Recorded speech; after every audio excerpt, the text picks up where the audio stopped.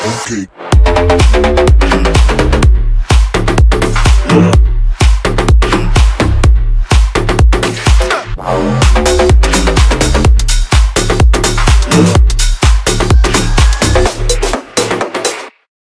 Итак, вот он, наконец-то, долгожданный микрофон. Конденсаторный микрофон Tascam TM80, который относится к серии недорогих микрофонов, который разрабатывался для произведения записей в домашних условиях. Микрофон имеет кардиоидную диаграмму направленности при 18 миллиметровой алюминиевой диафрагме, что обеспечивает микрофону прекрасное качество звука, так необходимое для записи вокала в домашних условиях.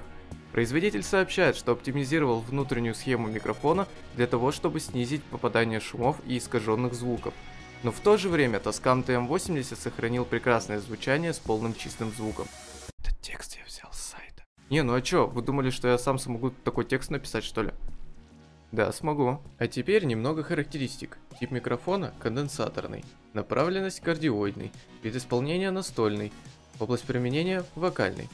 Ага, сейчас петь буду. Итак, микрофон действительно топ. А, после моего предыдущего микрофона, ну вы видите его. Это для меня просто как что-то инопланетное. Качество звука топ. Ничего не фонит, ничего не кряхтит. Ну, конечно же, за такие деньги. Что входит в комплектацию вместе с микрофоном? Это паук с настольной подставкой в виде треноги и кабель с разъемом XLR. Ах да, насчет кабеля с XLR. Это очень важно, ребят. Если вы вдруг захотите купить что-то подобное, то внимательно посмотрите, с каким разъемом продается ваш микрофон. Если это XLR, то скорее всего для микрофона потребуется фантомное питание плюс 48 вольт. Так что просто купить переходник на USB или на джек не проканает. Переходник с фантомным питанием можно заказать на Алиэкспрессе или же Просто найти внешнюю звуковую карту с разъемом XLR, как я и сделал. Вроде бы микрофон идеальный, но подождите-ка.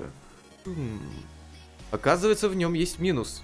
Но такой себе. Микрофон сам по себе более-менее тяжелый. Я смотрел некоторые обзоры по этому микрофону, и в одном из них я услышал, как автор прямо наезжает на создателей этой модели за то, что у него упал микрофон. Я подумал, ну рукожоп немного, пофиг. Оказалось, что микрофон действительно может упасть. Однако, все дело в знании физики. Если закрутить ножки от паука так, чтобы микрофон был между двух ножек, то он перевесит и упадет.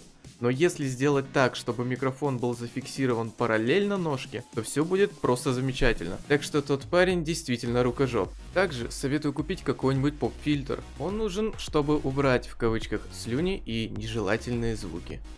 Ну вот и все, я рассказал все, что хотел, рассказал о своих впечатлениях и передал вам некоторый опыт. Думаю, что обзор был информативен. Всем спасибо за просмотр, всем пока.